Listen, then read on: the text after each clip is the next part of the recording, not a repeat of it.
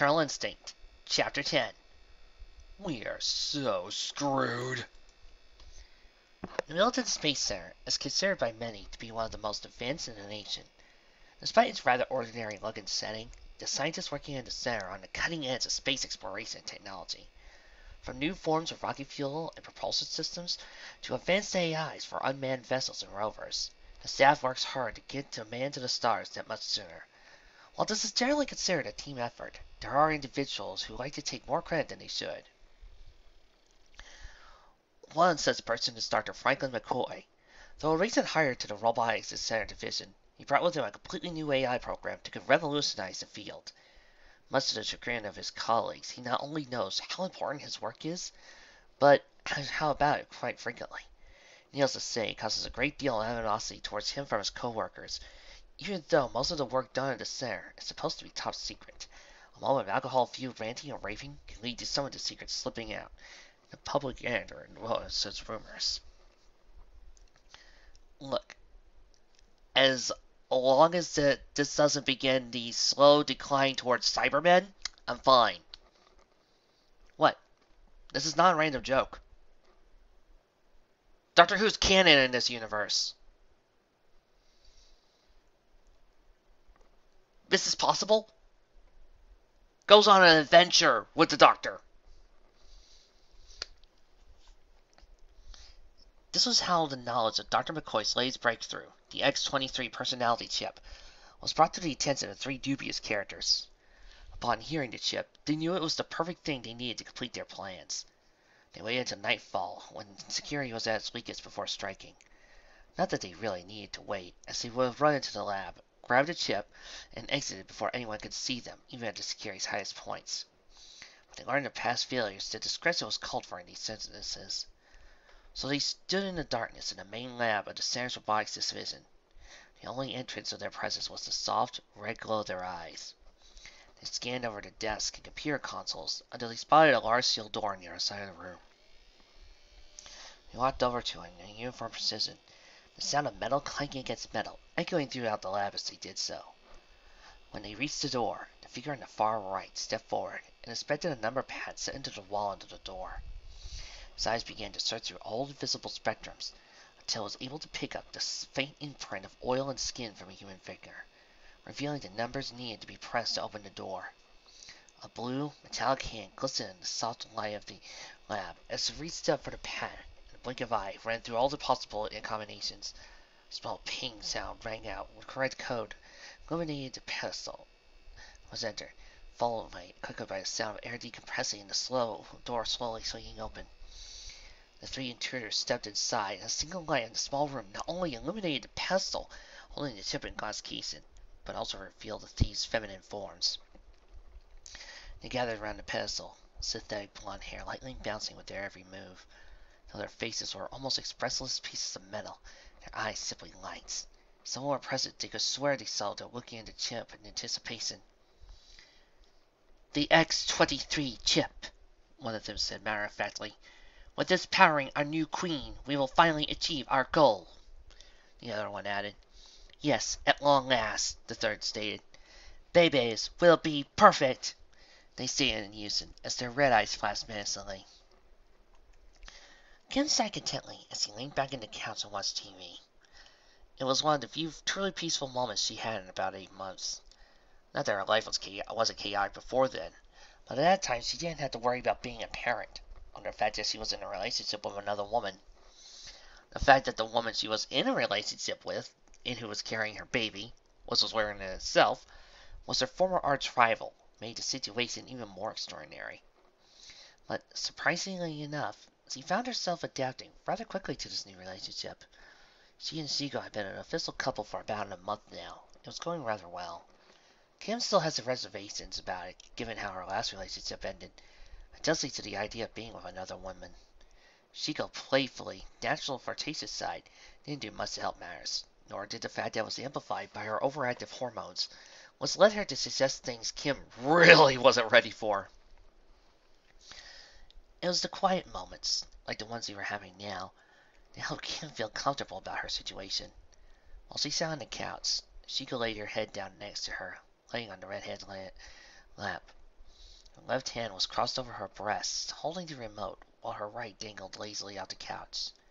For her part, Kim was stroking Shego's soft, silky hair with her right hand, while her lips was gently caressing her plump stomach.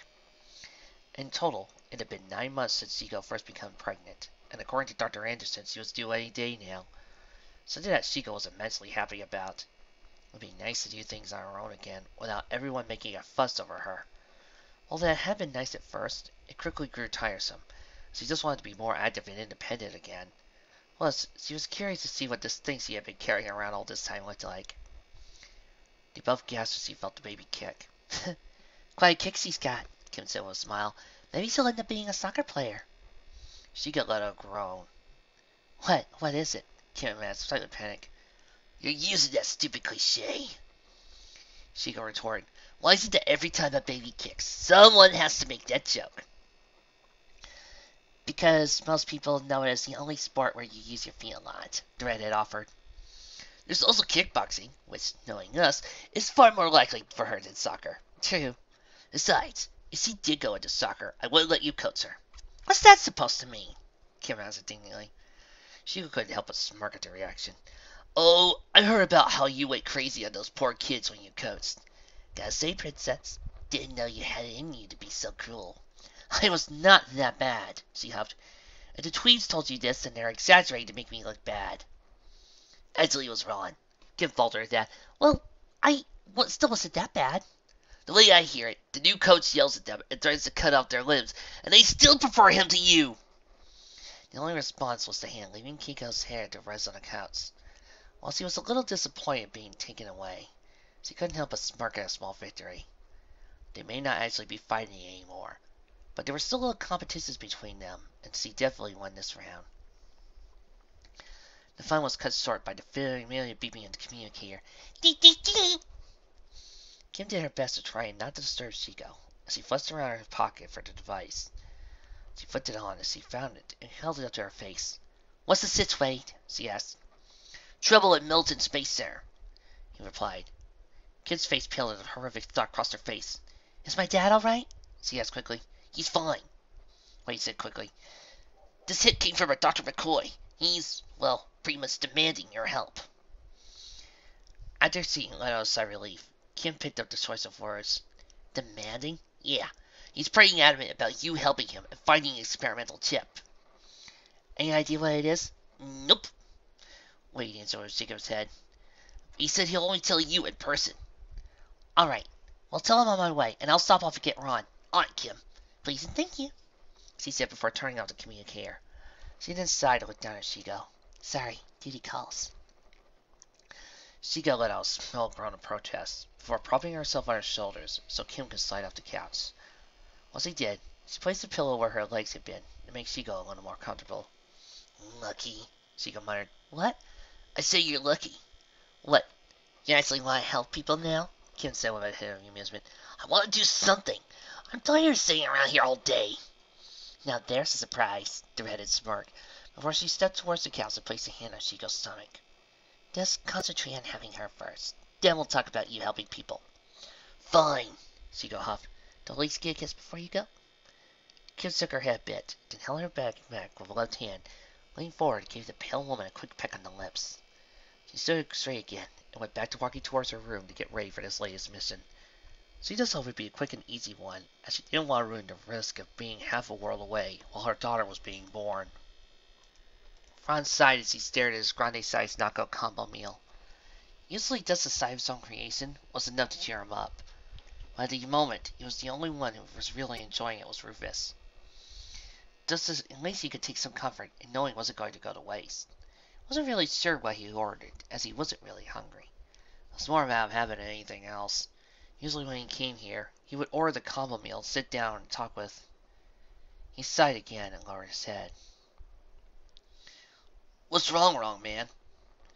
Ron lifted his head up and looked at the person sitting across from the booth. The spot that was usually occupied by Kim was now taken by Felix Wren, the boy with the amazing cybertronic wheelchair was sat next to the table that had positioned himself in the booth. While Ron was always happy to spend time with his other best friend, this felt off not having Kim around as much. It's nothing, he tried to lie. It's just. Still trying to wrap your brain around the whole Kim Shego thing? Felix ventured. The blond boy gave him a surprised look. How did you. Oh, right. You're on my friends list. But yeah, that's it. I mean, I know I promised Kim I'd still be there for her, but it's just weird not having her around all the time. Plus, I still think those to get together spells wrong check. Is it the fact that she's going out with another woman that's got you freaked, or the fact that it's Shego? Definitely the Shigo thing. I mean, yeah, I would have freaked if she had just been going out with another woman, but with the woman that's trying to kill her, what sense does that make? None, that's what. Well, she is. Ron stopped his friend by holding his hand. Do not bring up the baby again, he requested. That's what everyone says, and it's getting old. But it's true, Felix cowered. Well, it's still old. Yeah, old. Chris squeaked. Either way, it's a big change for her. You just gotta wait till she sells into it. After that, I'm sure everything will go back to normal. Things will never be normal again. Ron muttered as he crossed his arms over his chest. Are you the one who's always saying will never be normal? Felix remarked with a grin. The boy failed for an answer for a second before he narrowed his eyes at his friend. Curse your logic, he growled. Felix chuckled a bit as he held up a knuckle from his own meal. He waited until a was significantly before speaking again. Now, are you sure the real reason you're freaking out isn't because you moved on and you haven't? He asked. Again, Ron was silent for a moment before laying his elbows on the table and craning his head with his hands. Honestly, that probably is it, he admitted. I'm just having a hard time accepting that she found someone else, especially with how caught I still am with her. Maybe she'd be going through the same thing, but nope. Turns out she just goes out and finds someone else.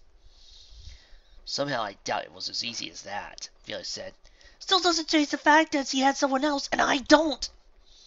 Then why not go out there and find someone for you? Oh yeah, like it's that easy.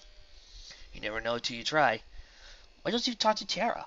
She seemed to like you. Yeah, like. Ron stressed the word as it used to and doesn't anymore. Besides, she's going out with Josh Man- Monkey.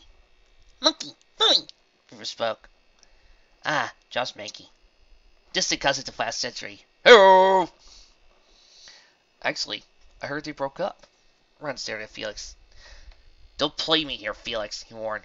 I'm dead serious, he replied, holding his hand up in a scout's arm gesture.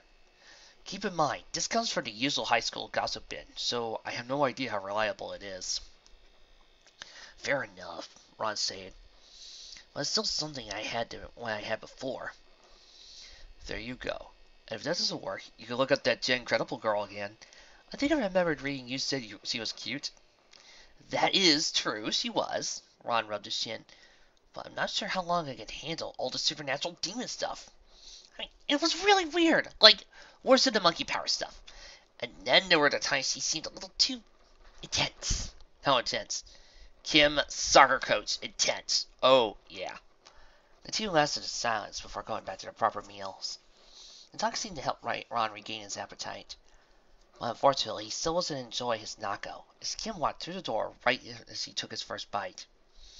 Her personable stride up to the table told him that mission had come up. Well, that and the fact she was out on missing gear. Hey, KP, he agreed, trying to sound cheerful. Got a mission? Yep. Kim replied as he moved a hand on the table. Noticed he had a person there. Oh, hey, Felix. Yo. He replied with a small wave. So, where are we going? Not far. Something gets stolen from the Middleton Science Center, and we need to talk to a scientist before we can get it back.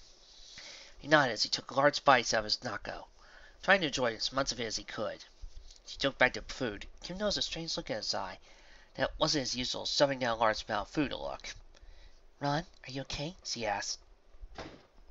No, I'm totally, completely miserable without you. I don't hear the Dutch gonna take me back. He thought. Finishing his bites, he said out loud, I'm fine, KP. You sure? Kim asked again, not sounding convinced. No! Yep, 100 okay. Kim stood straight with her arms crossed and glared down at him. She has a feeling he wasn't being entirely truthful. Unfortunately, didn't have time to talk about it right now.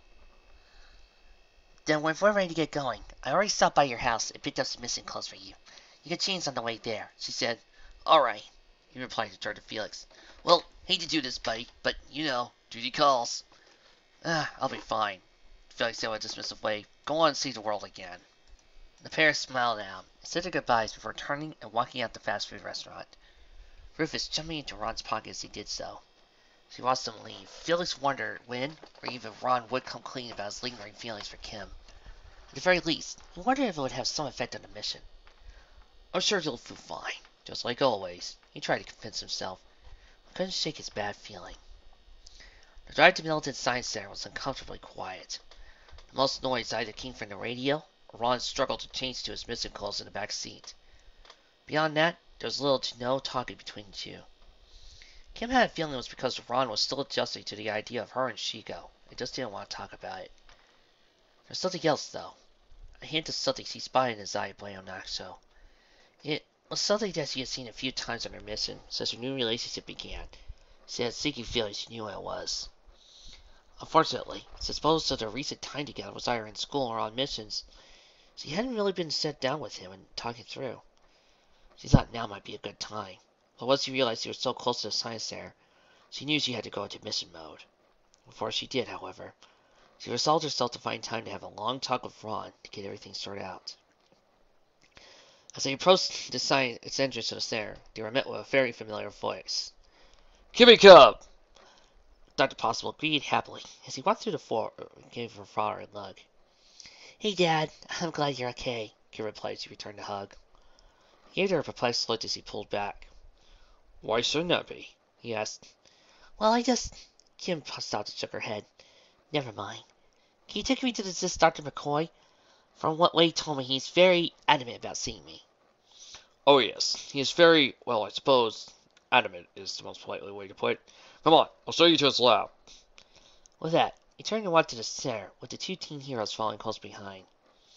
Having been there a few times before on a mission, visits to her father, and more Rocket Boosters Club trips than she cared to admit, Kim knew her way around the main part of the center very well.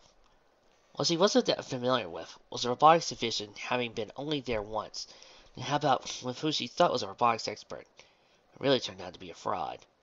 It all worked out well in the end, though, when she helped reveal the real genius, Dr. Vivian Porter, and helped her get a job at the center. Now she was here again, about to meet another genius with another robotics problem. At least that's what she assumed, since the details were rather sketchy at the moment. No doubt due to the secret nature of this division. Dr. Possible stopped just before the rounded metal double doors and turned back to his daughter. Well, Kimmy Cub, this is about as far as I can take you. My clearance will get me in here, but Dr. McCoy is very particular about who he lets in. Besides, I still have my own work to do. Gotta get back to those loss vectors and make sure the new cells are going to crash. It's okay. I guess I'll see you tonight at dinner then, Kim said. You betcha. Dr. Possible replied, before he entered his as a keypad to open the doors. He slid open with a white whoosh, and after a final wave to her father, Kim and Ron walked into the lab. The scene he saw inside it would fit right at home in any sci-fi movie. The walls and floor were all steel gray doors, with everything looking clean and pristine. A handful of desks sat along with dozens of flat computer monitors, laps set on straight gears, circuits and half-finished robots sat on things that looked like metal beds. Some were human-shaped by most like, and some of them were insect-like. Ryle let an impressive whistle as he took it all in. Wow, I bet Wade would have a field day in here, he joked. Actually, knowing Wade, this would probably be very mundane to him, Kim cowered. Who's there? A voice called out from behind one of the larger pieces of machinery. Kim Possible. I got a hit from Dr. McCoy saying he needed my help, Kim called out. Oh, it's about time! The man shouted as he stepped to the light. How did Trixie know that you were not going to resist doing the Dr. McCoy joke? Oh, you know me too well, Trix. You know me too well. Kim recoiled a bit from the unexpected outburst. Of all the ways people have greeted her over the years, that was definitely the rudest. Once he recovered, she took a moment to look the man over. Like almost everyone in the center, he was wearing a white lab coat with a few pens and a small notebook shoved into his breast pocket.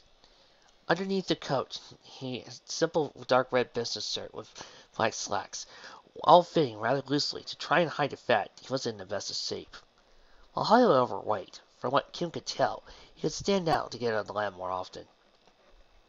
He set the piece of equipment he was working on down and walked over to them. The soft lights of the lab reflecting off his short, black hair Erfuniday was already beginning to recede, even though he was only in his mid-thirties. He saw Dustin front of her seemed to be giving her and Ron the same evaluative look she was giving him. His hazel-colored eyes looked at her skeptically as he crossed his arms over his chest. So, you're Kim Possible, huh? From the way your father talks about you, I was really expecting something more. He mused. Moving right along, Kim said, ignoring the thinly disguised insult. You told Wade you had some kind of ship's been stolen? Yeah, the X-23 chip. It's my last work. You understand, I'm a little anxious to get it back. So, what's it do? It thinks. It thinks. Yeah, it thinks. Or rather, the programming inside it to think. Isn't that what AI was supposed to do? Kim asked. Not like this, the doctor remarked, holding up a correcting finger. See, most AI is programmed to react to its environment and learn from those experiences. Now, while the X-23 does operate on the same principles designed to, predict certain actions, make guesses as to what happened. Basically, it'll give any machine or robot it's plugged into the same capabilities as this. He pointed said. Your head? Ron asked. Dr. McCoy gave him a you gotta be kidding look. No, the brain. Basically, what I'm doing with this chip is creating life. Well, no offense, Doctor, but women have been doing that for millions of years. Kim pointed out. He shook his head incredibly. No one understands my work. It's not that we don't understand it, Frank. It's that you present it the wrong way. A new voice spoke up. Kim and Ron turned to the sound of this familiar voice and saw who exactly they expected to see walking into the room. Dr. Vivian Porter. Like Dr. McCoy, she had a white lab coat on, but was over a light blue to low-cut t-shirt, more professional-looking skirt than the last one Kim seen on her. The redhead smiled as he walked up to the blonde woman. Dr. Porter, it's good to see you again. She greeted with a hand outstretched. Please, call me Vivian. The scientist replied she offered a hand and shook it. So, what have you been up to, Vivian? Ron asked, as he stepped forward and offered his own hand. Oh, about the same, she replied, shaking his hand. Working on the upgrade for Oliver, trying to get my colleagues to take me seriously, and mostly trying to keep Frank here in line. I don't need to be kept in line, Dr. McCoy protested. You ran off most of our interns just this past month, Vivian protested. They're getting in the way. How did they even manage to get this far is amazing. They barely understand the basic algorithms of the code, and don't even get me started on their lack of knowledge on motor control functions. Huh. See what I mean? The blonde pointed to Kim. Uh, sure, Kim replied. I feel like completely lost the conversation. Let's just say I miss Dr. Freeman. Oh yeah, Dr. Freeman. The man who decided to give a poster a personality. Dr. McCoy snapped. Hey, he's also invented a talking self-driving car, Ron pointed out. Good for him. He invented a sister to the car for Knight Rider. I, however, decided something would be the first major breakthrough in the 21st century, and I get ignored because I don't have people skills. Which is kind of ironic when you think about it, considering the fact we're working with robots. Maybe we should get back to the matter at hand, Ken suggested. Of course. Roll me a sleeve of vault, the doctor said, before he turned and headed towards another part of the lab. Kim and Ron shrugged his name "vault," but followed him after a quick goodbye to Vivian. When they reached the far end of the lab, they did, in fact, find something that very much resembled a bank vault, right down to the very heavy steel door which was currently swung open. Dr. McCoy sat next to a small pedestal as he waited for them to enter. Well, here it is, or rather, was, he said, gesturing towards the pedestal. Kim placed her hands on her knees as he leaned forward to examine the structure. I take it the chip was sitting in something, right? she asked, glancing at the scientist. Yeah, we kept it in a hyperbarically sealed class to continue to keep it clean. It was supposed to keep it safe, but obviously that didn't really work out. Does you all have some sort of alarms and stuff to keep that stuff from happening? Ron asked. Does he always ask stupid questions? McCoy muttered towards Kim. Before he could answer, though, he spoke up again. Yes, there are security measures in place, but they were all shut off, which is what makes this situation really strange, because they weren't shut off by any of our people, and the subroutines decided to set it off on another alarm system if one of them was tampered with. So to be able to sum all off without tripping one would require an impressive amount of speed. Speed? Kim asked a sudden seeking feeling in her stomach. Yes, speed. Doctor, is there a security camera in here? Of course. Fact, there's even a monitor built in here somewhere. He turned towards the row of doors behind him, skimmed over their number labels until he found the right one. Ah, here it is. He mused as he pulled it open. Immediately, a small monitor control panel opened up. Kim and Ron walked over to it as Dr. McCoy began to call the security feed. I did check it earlier, found something rather interesting. I was only there for a second, but still. He said as he stopped the tape right after the door had been opened and three figures stepped inside. There, this is the reason I called you in. Kim's eyes, uh, suspicions were confirmed. The playback was black and white, slightly gray, she would recognize those three anywhere. The Bebes! she exclaimed. The Bebes? Oh man, I thought you destroyed them! Ron complained. Me too. Guess some got away. Those things are hard to kill like cockroaches. Yeah, cockroaches! Rufus added as he poked his head out of Ron's stomach. So, and you know them? Dr. McCoy stated. Unfortunately, Kim remarked. They were created by my arch enemy, Dr. Drakken, to be some kind of perfect weapon or something. I thought they were designed to be his girlfriend, Ron asked. I think that was just in college. Dr. McCoy cast a weary look between the two heroes. A recording started to draw their attention. So, what do you think they want with my chip? he asked. Well, last time we fought them, they were looking for a new queen to rule their hive mind. You know, like bees. Maybe they decided they can't find a new queen, then just build one. I tried to use the X-23 chip to give her a personality. The scientist surmised. Then he got a very horrific look on his face. Uh-oh. Uh-oh. What's uh-oh? Oh, man, I don't want to be hearing any uh-ohs. Those are never good! Ron shouted spastically. Well, keep in mind, this is just a theory. If they wanted to use the chip to give their queen a personality, they would have to set their moral code to concede with theirs. What do you mean? Like I explained earlier, the chip can give any computer or robot a very close facility to laugh. But its very basic core, it's still a computer chip. It still needs to be programmed. I haven't gotten that far yet, so it's still a blank. Obviously, I would have to set the program to obey the laws of society. No killing, no stealing, how to enter a public setting, things like that. But they figure out how to program the chip to be more of less evil, if you simply want to simplify things, it could be very bad. How bad? He seemed to think about it for a second. Oh god, oh god, we're all gonna die, he offered.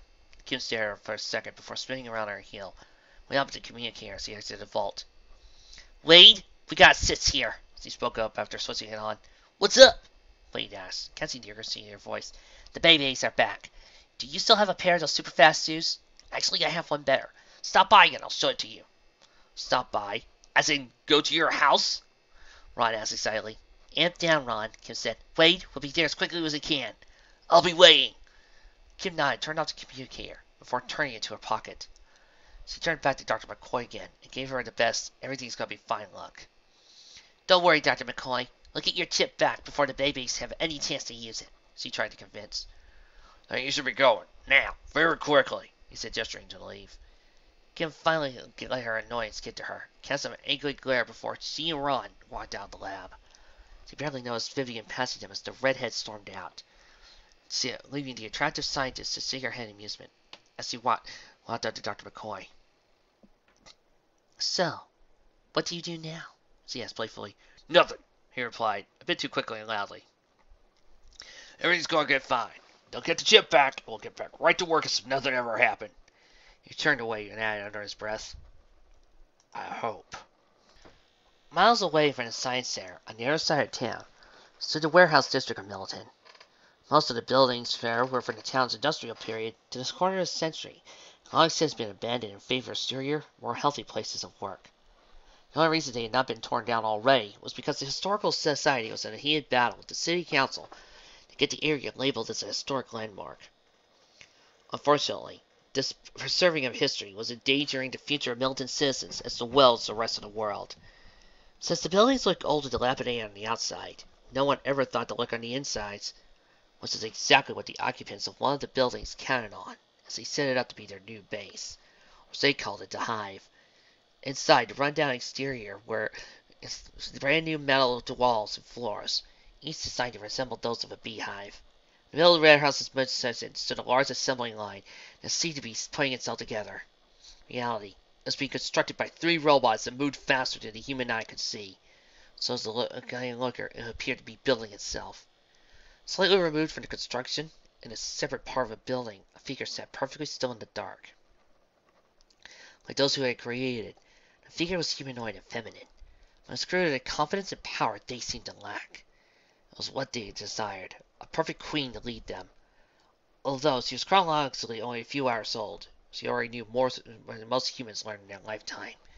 It was this great knowledge that came to her in a combination of advanced circuitry that made up her brain, as well as the wires placed at the back of her neck from her to provide her with internet access.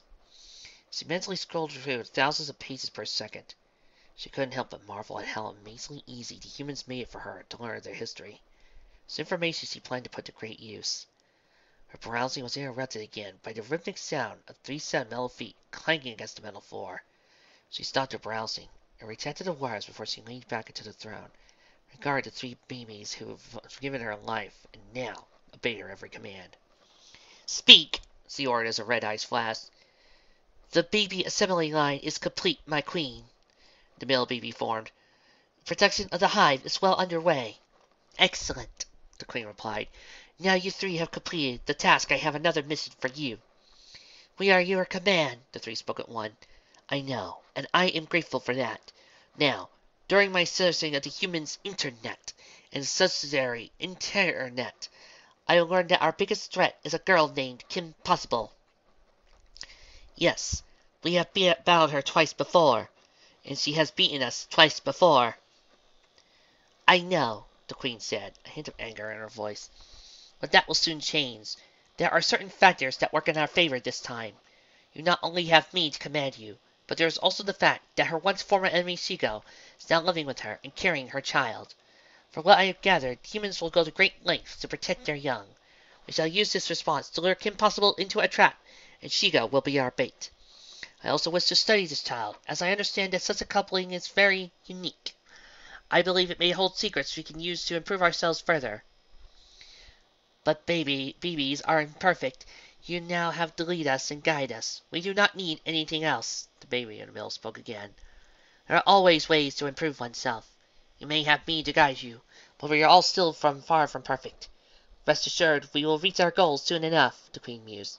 Now go, bring me Shego, and while you're out, bring me the Creator as well. I want to see what his hard work accomplished. By your command, the baby said in unison, before fancying a blink of eye. A small smile played across the queen's face as his workers went out to accomplish their task. She could hear the soft hum of the assembly line and feel it very every new baby unit came online. Soon they would be ready to show the world their new power. Why is the Cyberman theme playing in my head? The drive over to the Waits house was a little more exciting than the one to the science center, and for no other reason than Ron's eagerness to see Wade in person once again. While the boy genius did get out of his room a little more since the whole incident with Team Impossible, he still preferred to stay inside and talk to them, find a communicator, or the service if he had to actually send him something. So Kim could see how Ron would get excited at having actually go to Wade's house for a gadget. Truth be told, she was a little excited herself. It didn't seem like a sort of special occasion. She just wish it was under better circumstances. When they arrived at the address Wade had given them, they were surprised at how normal it looked. It was a fairly modest one-story home that would have been perfect with any idea of a suburban home.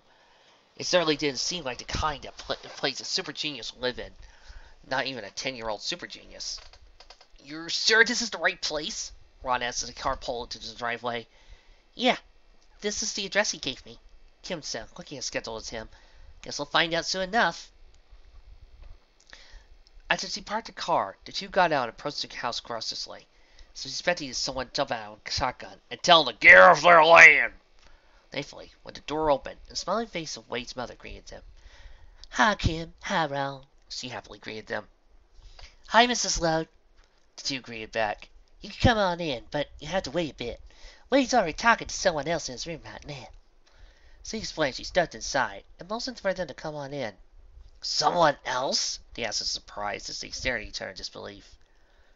Once they got over their surprise, they stepped inside and followed Mrs. Load down a hallway lined with family pictures, as well as various prizes and accolades Wade had won over his young life.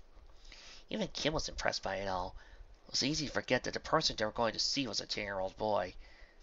It, still, it helped to emphasize her that Wade wasn't just one of her close friends, but one of her best tools she had had in a fight against the bad guys. She held her renewed relationship didn't put a strain on their friendship. He seemed to be okay with it for the moment.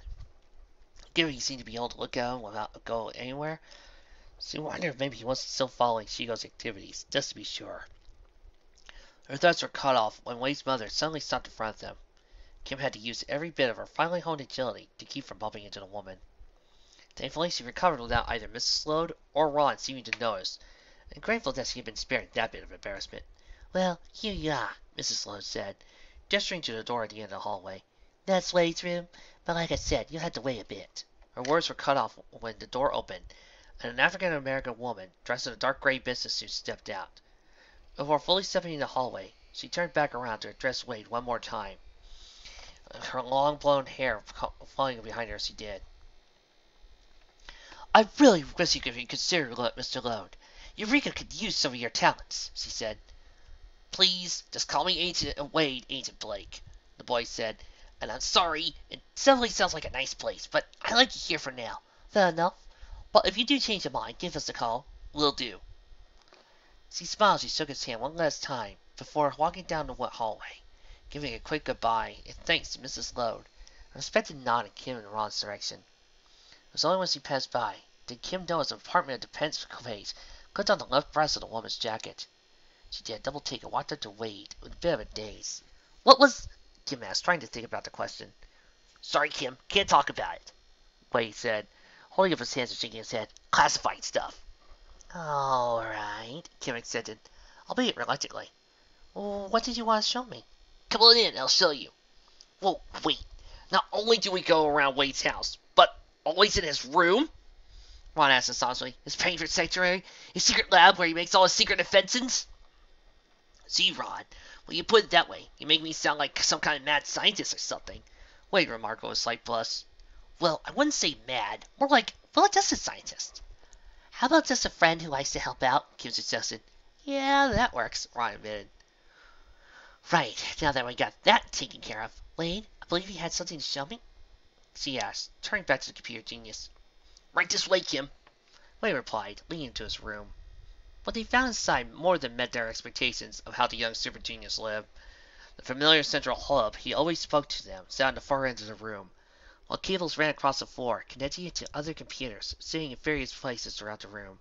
However, the walls and floors were painted black, with a yellow grid pattern indicating the holosuite he used to make his mother to the beats during Mother's Day.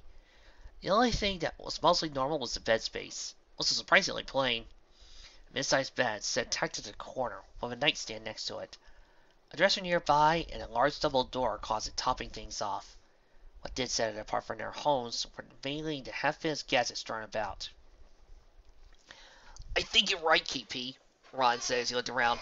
The lab at the Science Center has nothing on this place. Told ya, Kim smirked. Uh, is this something I should know about? Wade asked, suddenly feeling self-conscious. It's nothing, she waved it off. Now, you said you wanted to show me something that would help me fight the Bebes? Right. Stay right there. Walked to the closet. He slid one of the doors open, and after a bit of fishing around, pulled out an article of clothing with a protective wrap over it. When he walked over to Kim and Ron, he held it to the hanger and unzipped the covering in a dramatic fashion to reveal a white bodysuit with a light blue stripe running across the upper torso, as well as a few stripes on the arms. Felt the same color as the stripes hung over the hanger as well. Dude, the super suit! Ron blurted out. I remember that for the time we, uh. He paused to look over at Kim, who looked at her back at him. Though he didn't complete this sentence, they both knew what he was going to say, and the residual feelings had dredged up. Um, the time we fought the little Diablos, he finished lamely. An uncomfortable silence enveloped the group afterwards, while Wade merely visited around nervously. Kim and Ron were mentally kicking themselves for how they were feeling. After all this time, given what's happened recently. They thought they had gotten over everything. Or at least Kim did. Ron wasn't quite sure how he felt. Anyway, Wade spoke up, breaking the silence. I After the little Diablos mission, I went back to make some upgrades to the suit. One of which included adding circuitry from the super speed suits, so you could move as fast as you did when you had them. But it's more controlled now. No more getting stuck in hyper time. Spankin', Kim mused as he took the suit from him. Anything else I should know about? Uh, just a few things to enhance your natural agility, strength, endurance, things like that. Strength? Well, you won't be able to throw crawlers around, but you should be able to lay out a few robots without feeling the effects. See, Smart, that's definitely gonna come in handy. So, do you have anywhere I could change? Bathroom's right over there, Wade said, pointing to a second door in his room. Thanks. She said, turned, and started to walk towards it. She stopped about midway when something occurred to her. Wade, you don't have any camera set up in there, do you? Ron and Wade grins and let out a disgusting groan. You know that's the last place I want a camera.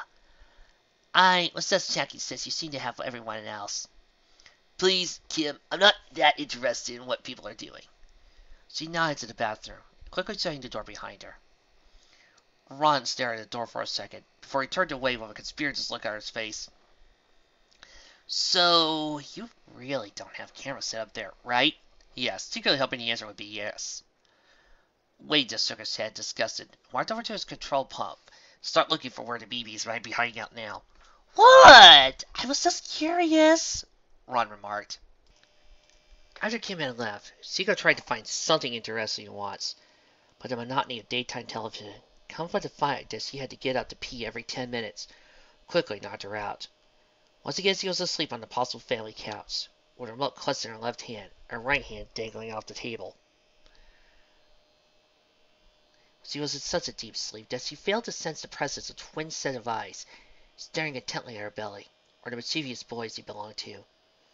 Jim and Tim stood fixated on the large partition, as though they were egg from an alien creature ready to hatch.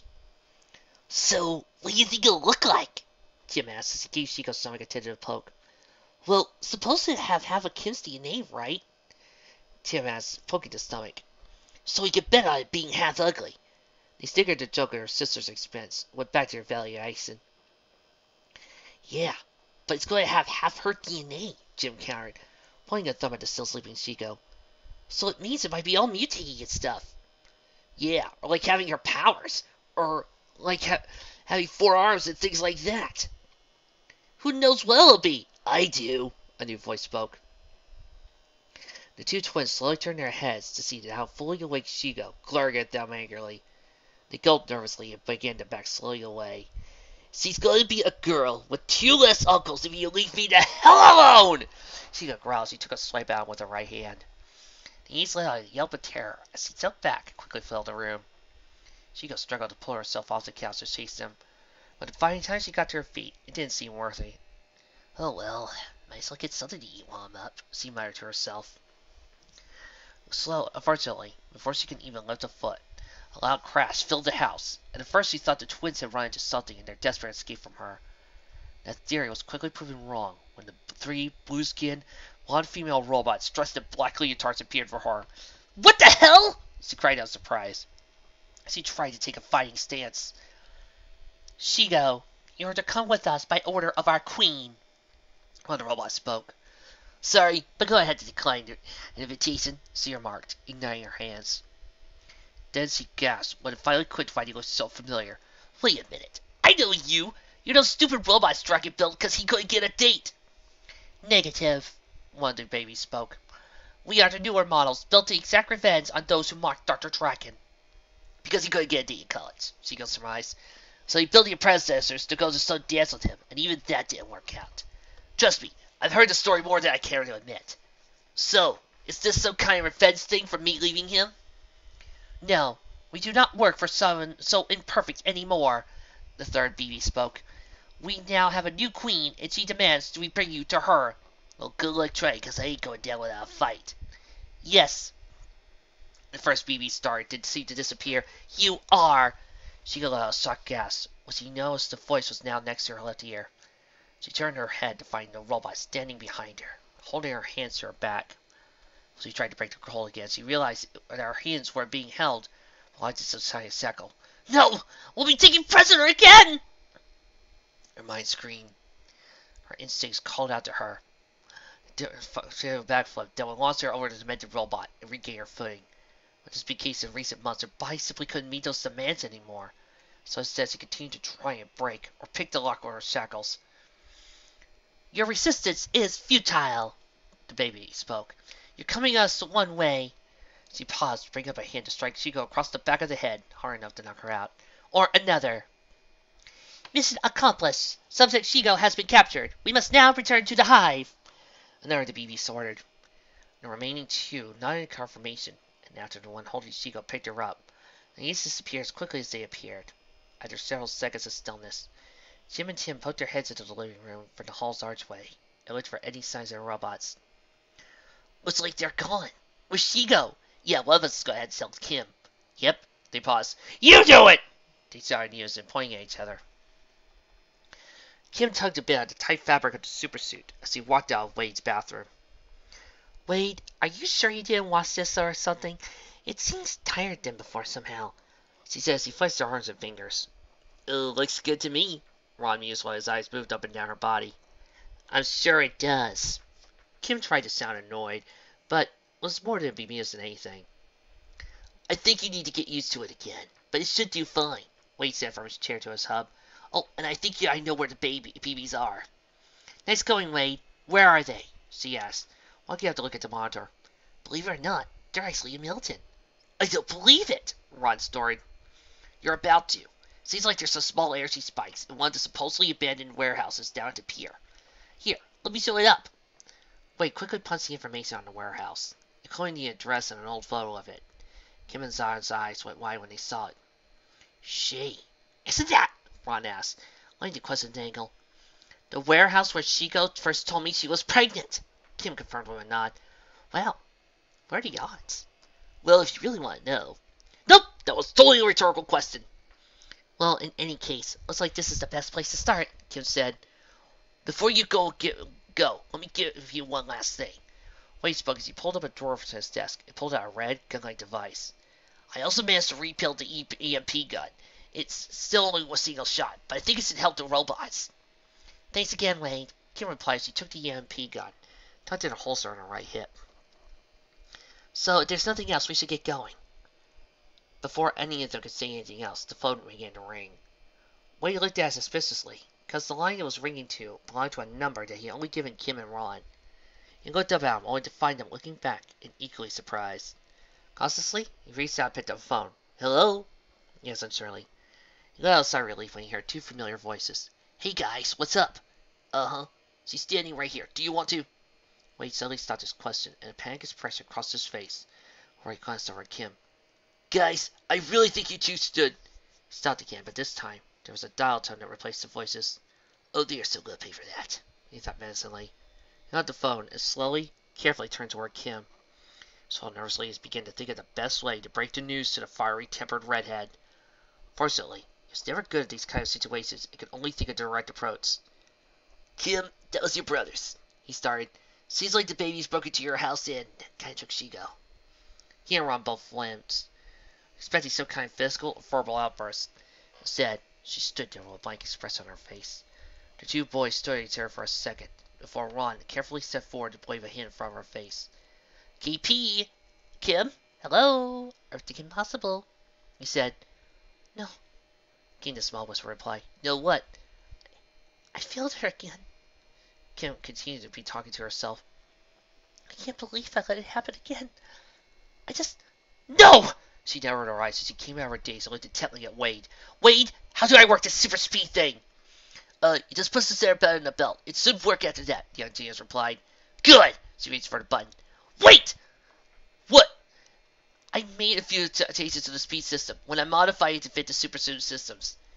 Which means means you'll be able to run fast, but it also drains the suit power. So you have to conserve it and use it only when you need to. Kim glared at him for several seconds she finally lowered her hand with a reluctant sigh. Fine, she growled. Well, we need to get going. Come on, Ron! Uh, shouldn't we make sure this plays or get more info on the student's new powers or something first? No, we're going now!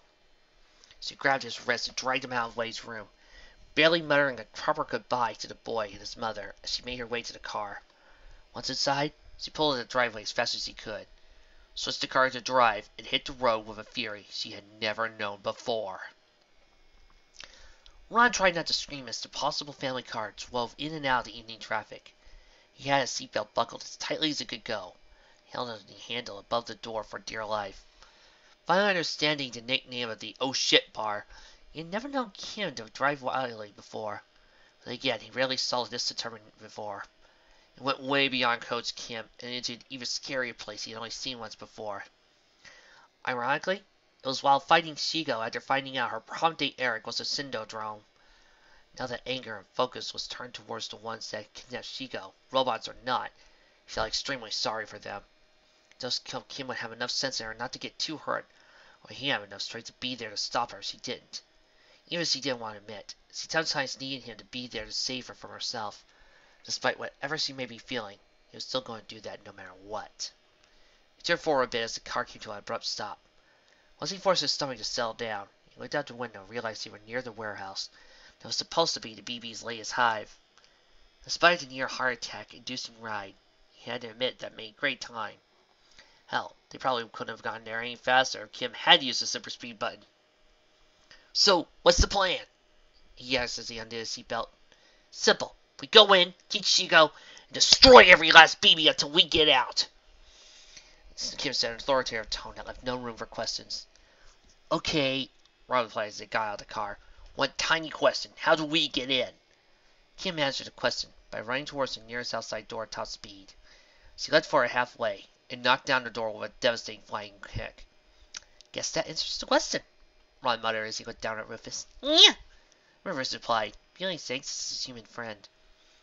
They followed Kim inside the warehouse and were completely blown away by the difference from the outside to the inside. Everything was covered in panels that resembled beehive compartments, with a few wires running loose here and there. Still, for something that had to be constructed quickly and quietly, it was really impressive. He shrugged it off and cut off with Kim, who was stalking through the complex so that it looked as someone who owned a place. So, any idea where we're going? He whispered. Nope, Kim whispered back. Any idea on how many Bebes there are now? Nope. Any hope of coming up with a plan before we run into them? Nope. Well, nice to know where we stand. He quit, feeling less and less confident about this mission by the second. Shego let out a soft groan as she slowly came to a round. Her eyes fluttered open, and after a few seconds, cleared out to where she could see her surroundings. What she saw she didn't like. She was standing in some kind of throne room, surrounded by a dozen or so Bebe robots, two of which were by her sides guarding her. Even if she wasn't still nine months pregnant, it would still be tricky to get out of there, given she was indeed that far along in her pregnancy. She wasn't feeling entirely sure about her abilities. Still, she wasn't about to play helpless hostage once again. There was a way out. She just had to find it. She glanced between the two robots at either side, and noticed he didn't seem to be paying any attention to her. Very discreetly, she tried to light up her plasma powers to see if she could use them to melt through the shackles, holding her hands behind her back. Very least, it would give her escape plan start. Fortunately, the bonds were holding back her powers. Don't bother, a voice spoke from the side of the room. Those shackles were designed to neutralize your powers. Shego let out a frustrated sigh. Ugh. What, are these silly these things at Smarty Martinell? Ah, the infamous Shego Wit I have heard so much about. Yeah, and just who are you? The answer came in the form of a series of lights clicking on all at once, temporarily blinding the pale woman. She finally got to use the new light source, her head was forcibly turned to the direction the voice had come from.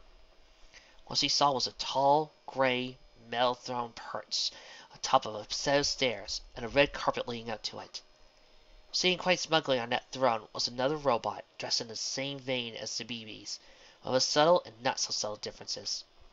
On the not so subtle side was her manner of dress.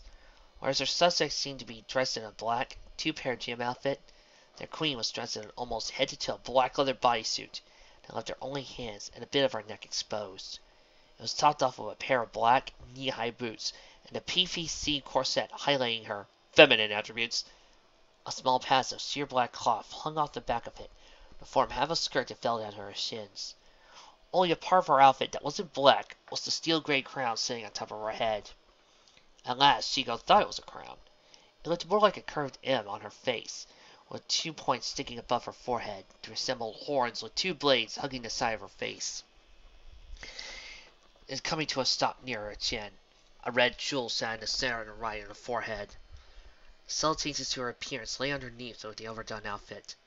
While her skin was still blue, it was much smoother and her face seemed more expressive and human, particularly because it lacked the two lines on the side of her mouth that made others much more like her puppets. Her eyes seemed to convey this sense of expression, even if they were still the same red lights the other Bebes had.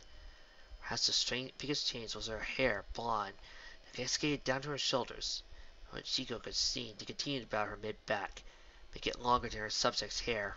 Again, her feminine attributes seemed to be more pronounced, and Shego wonder what kind of magazines he had been reading to come to this standard of beauty for their queen. I am Queen Bebe, she spoke in an even tone. And I can see you've already met my loyal subjects. Yeah, we really hit it off, Shego scoffed. So what's the plan here? What do you want me? There are a number of reasons. The first, of course, being bait to trap our greatest threat, Kim Possible. She looked past Shego, focused on an unguarded wall, that led her to the throne room.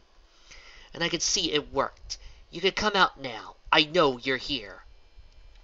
Shego, along with the Bebes, turned her head towards the wall, and to her surprise and disappointment, saw Kim and Ron walking out behind it. Unlike Ron, Kim was trying to hide her shock at being discovered but Shego was able to pick up on the subtle hints. She had a feeling that she could, the Queen Bee could as well.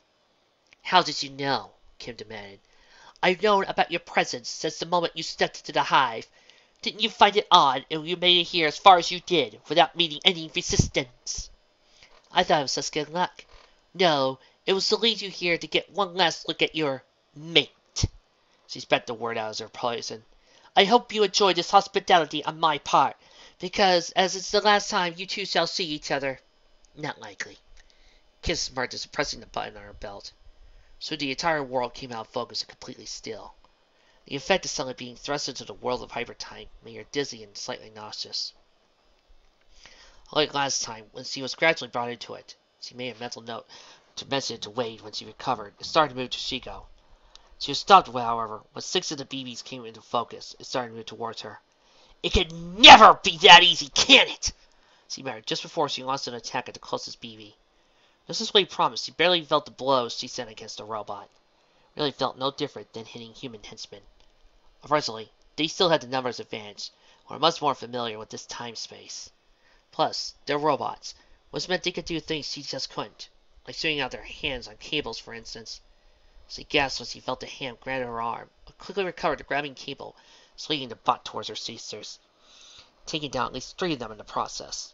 She just slipped the cable with a karate chop, and too surprised it actually worked, severing the cable and sending the robot crashing into the far wall. Kim's victory was short-lived, though, when more Bebes began to flood the room. She held them off as best she could, jumping, spinning, twirling, going through just about every cheer routine she knew to keep the robots out of reach. She struck back when she could, taking care to strike it and destroy the head to knock out the vital circuitry. Actually reminded her a bit like Ron's zombie games she had played a few times. Just like the game, whenever she knocked one down, two more seemed to take its place. Like the game, she quickly felt the effects of such a battle, and there were no power-ups to get her that strength back. She knew it was only a matter of time until the Bebes finally wore her out. But she wasn't going to quit, not when Shego and Shin's lives depended on her. She had to save them. She had to make up for letting them get kidnapped again, no matter, so that meant she had to keep fighting, no matter what. She dies! The voice's voice suddenly rang out. Kim turned back to the throne room to find the Bebe's leader standing beside it, pointed to Shego. When she looked towards her new love, she found one of the Bebes had been guarding her with his hands around the side of her head, ready to twist it off at a moment's notice. Worst of all, since they were moving too fast for Shego to see them, she had no idea of the danger she was in. No! Kim cried out, starting to take a step forward. I wouldn't do that if I were you, Queen advised. You may have our speed, but do you think you're fast enough? Can you fight through the rest of my subjects to stop the one from snapping Shego's neck like a twig? And what about saving your former love there? Again, Kim went to where she was pointing and found a Bebe standing behind Ron, his right hand poised to strike at his neck with razor-sharp fingers. Kim stood glued to a stop, feeling something she had never felt before. Paralyzing fear came from the knowledge she knew the Queen was right. No matter how good she was or how fast she was, she simply couldn't save them both at the same time. Nor could she stand the thought of losing either one of them. She relaxed her stance and hung her head in shame. Forgive me, she whispered as she pressed the button once again. War came back into focus as she and the Bebes turned back to normal time. While the fight for her seemed to last almost half an hour, it only been a few seconds to Ron and Shego was led to their great surprise when they saw Kim standing, looking defeated. Ron was even a bigger surprise when he noticed the Bebe standing right behind him. He screamed to try and jump away, but she reached out and grabbed him before he could even move. KP, what happened? He asked as he was dragged next to her. I. I couldn't. Kim was trying to explain as he was held back by Bebe. I thought you were supposed to be able to do anything, Shego snapped. He would have killed you!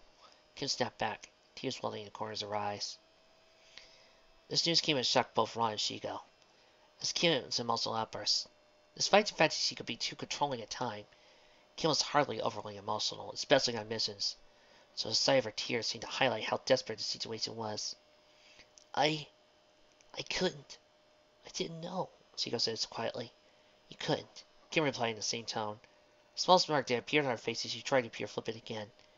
You know it's your own fault for letting yourself get captured again.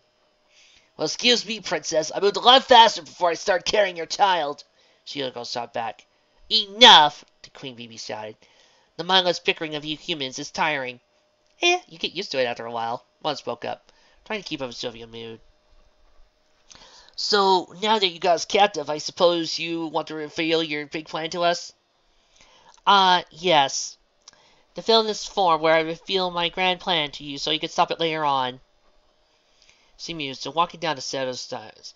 Well, if you must know, my plan is quite simple. Complete eradication of the human race. Oh, so you're falling into that whole stick. The whole robot thinks they're better than people and has to replace them scheme. Gotcha. Ron, this is serious, Kim growled. Perhaps it isn't quite original, but have you ever stopped to consider that those writers have a point? The Queen asked. Since my creation, I have searched through this world's history and found that the forces ruling it seemed to be moving in stages. First, there were the great beasts you call the dinosaurs that ruled this planet for millions of years until they were destroyed by a disaster. Eventually, out of that aftermath of the disaster rose another creature, man. It may have taken you millions of years to avoid to the point where you create your civilization, but it was only a matter of thousands of years for you to reach your pinnacle. To show other creatures of this world, and very world yourself, you are better than them. The great empire of humankind. She threw her hands up in an overdramatic way to emphasize her point. Then she lowered them and looked at Kim, as if she was responsible for all of mankind's creation. But even your empire must live its time and then die, she concluded calmly. Then it's time for the machines to take over, right? Kim spat back. Not going to happen. Really, tell me, have you taken a good look around your world lately? You've already ruled by machines. You just don't know it yet. She turned to step away from them a bit. Think of it. In this day and age, can you really get by without your cell phones, computers, portable music players, and any number of other devices that make your lives oh so comfortable? I think not. She spun back around to face Kim and Ron. So as I said, technology already runs this world. We were merely the next step of evolution. A set evolution's supposed to happen naturally, and you're anything but natural. True, you, you can do things you can't. Things like this. She held out her left hand. A small palm and palm slid out to reveal a red jewel and.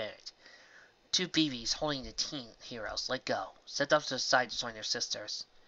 Kim and Ron looked at each other, about to try and make a break for it, when the tool in the Queen's hand glowed, and the next thing they knew, they were knocked back about five feet. The impact had hurt outside their bodies, as much as they had their ears. Right before whatever force had attacked them, there was a quick, high-pitched sound that nearly knocked them over itself. They were still held their ears as they lay on the floor and tried to recover. Sonic emitter! The Queen answered their unasked question as he hovered over their prone forms. Charming little device my subjects built into my body, and has the power to level buildings if I so chose.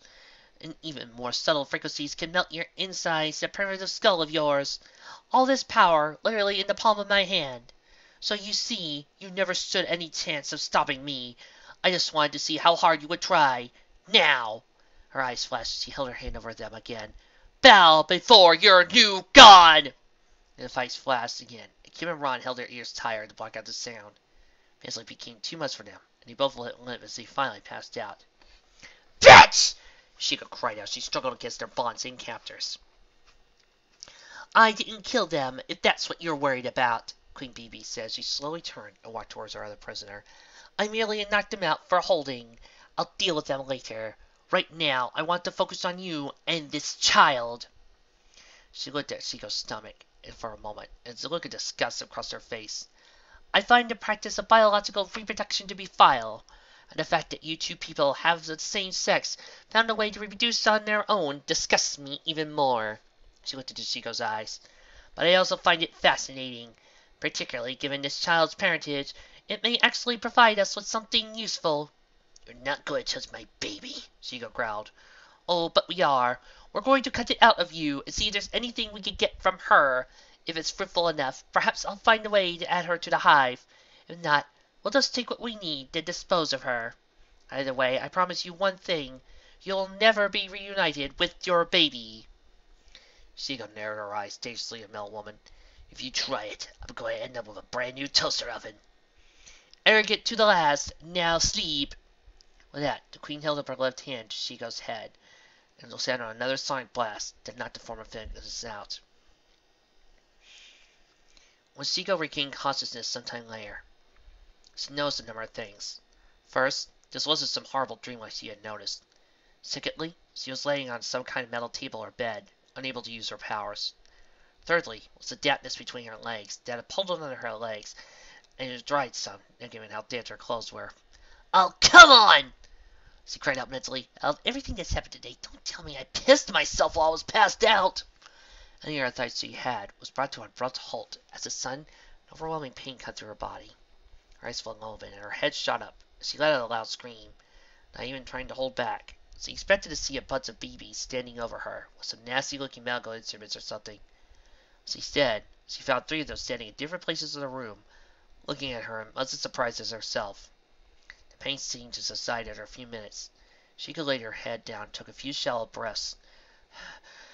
What did you do to me? We have done nothing, one of the Bebes spoke. A cursory scan reveals you are entering the first part of labor, another one said. Shego's eyes widened at the revelation. No, no, I won't have my baby here. I won't! She cried out desperately. You have no choice, the third baby said. You are our prisoner, and the queen demands to have your child. You will continue to birth the child, and then she will be ours. Shego let out another ear-piercing scream. Not one of pain or horror, but of sheer frustration. Ron came to, slowly, rubbing his still sore ears. There was still some slight ringing in them. He could swore he heard someone screaming, but that might have been his imagination. When the ringing finally subsided, he opened his eyes and found himself in a dimly lit, fairly small room. He figured it was a holding cell. Of course, he couldn't be certain there were no beds or seats or anything. But then again, it was built by robots, who didn't care for humans, so that explained a lot. Oh man, that hurts. He muttered, I know. Kim's voice added, and what was that bow before your new god stuff? Nice to know they didn't forget to add an ego for their new queen. Yeah. Nice to know you're sounding like your old self, too. Yeah, I got overwhelmed there for a bit. Do me a favor and don't mention it, okay? Gotcha, he said, finally starting to stand up. And do me another favor and don't look at me. So he added. He quirked an eyebrow at the request. Why? Why wouldn't you want me to? He received his answer when he followed the sound of her voice and found her standing at the other end of the cell, only in a white bra and white matching panties, and trying to cover herself as best as he could. For a moment, the part of him that was a teenage boy and had been her boyfriend kicked in. and A huge grin part across his face at the sight of her so little on. Then the part of him that remembered they're only friends now, and the new girl's six, new 16 styles of kung fu, was most likely pissed, kicked in, and told her to look away. Wisely, he listened to that part, covered his eyes with his hand as he spun around. Um, KP, what happened to the super suit? He asked. I'm guessing the Bebe took it because he realized he could help us escape. Kim replied as he crouched down against the wall. I'm just glad they decided to keep my underwear on under it. Yeah, good call. Sounds came over them. So, not that I'm complaining or anything, but since this new Queen Bebe seems smart enough to take away your super suit, it doesn't seem cunning I'm following the whole villain rules thing. How come we're still alive? I think I can answer that. Kim let out sight eat at the thought of another person seeing her skivvies, and quickly jumped up and hid behind Ron. He blinked a few times at the action. When it sunk in was another grin calling slowly to his face. Ron! Kim admonished him with a slight slap on the cheek. Oh, right, sorry, he apologized. Kim decided to let it go for now, and focused on the other person in the room. Who's there? she demanded. It's just me. Voice replied as the owner stepped into the light, revealed a black-haired, middle-aged scientist. Dr. McCoy? The Ron shouted together. What are you doing here? Kim asked. These Bebe robots broke into my lab and kidnapped me shortly after you left. Great. So that's three people I've prevented from getting kidnapped today? She muttered. Ah, KP, it's not your fault. Ron assured her, giving the hand she had on her shoulder like pat. No, if it's anyone's fault, it's mine. Dr. McCoy spoke up. Give a machine a completely human personality. Be a great idea. God, what was I thinking? Now not only am I trapped here, but the thing I invented is poised to take out of all mankind. And even if it doesn't, I'll never be able to work again without the whole Dr. Frankenstein moniker put on me. This is gonna ruin my professional career. Yes, how horrible for you, Cameron deadpan. Yeah, sorry for getting you two captured too, he said half-heartedly. Well, I thought you were supposed to be able to do anything. There were circumstances you wouldn't understand. Like what? Like things that I ca- don't care about, about going into total t- with a stranger. Uh, guys, can we focus on the important thing here? One question. Like the whole why aren't we dead thing? Oh, yeah, Dr. McCoy said.